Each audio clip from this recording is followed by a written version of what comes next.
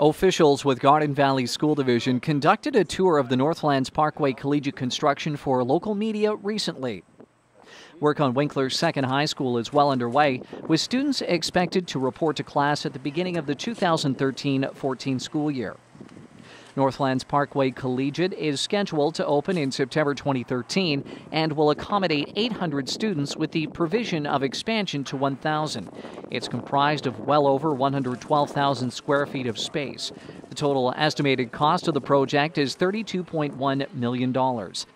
The new school will be constructed by Penco Construction. Northlands Parkway Collegiate is being built just north of the junction of Highway 14 and Provincial Road 428. For PembinaValleyOnline.com, I'm Chris Sumner.